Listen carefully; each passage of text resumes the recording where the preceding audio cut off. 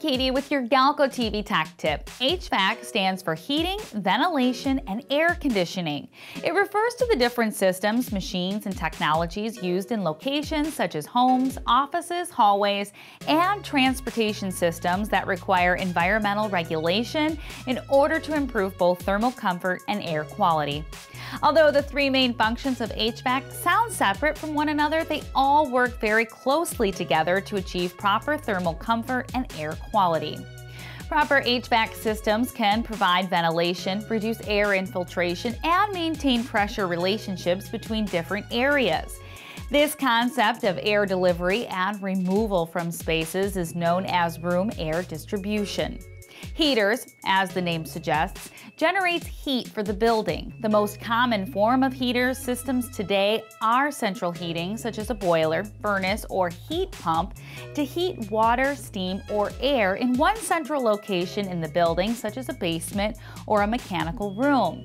The generated heat is then transferred by convection, conduction, or radiation. Ventilation involves changing or replacing air in any space to control temperature or remove elements such as moisture, odors, smoke, heat, dust, airborne bacteria, or carbon monoxide. Ventilation systems are also used to replenish oxygen in an area.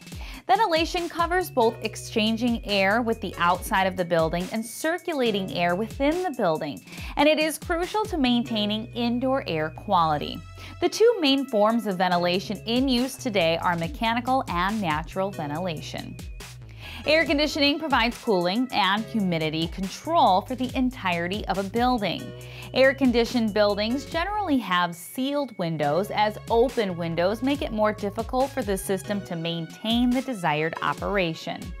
Air conditioning generally works by drawing fresh air into the system by a vent into the indoor heat exchanger, which creates positive air pressure.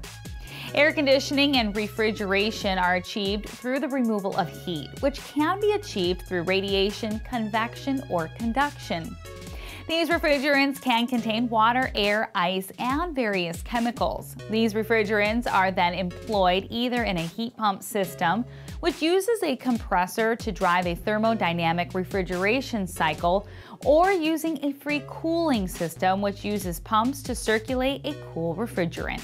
For more on HVAC systems and our full catalog of products and repair services, please visit us at galco.com.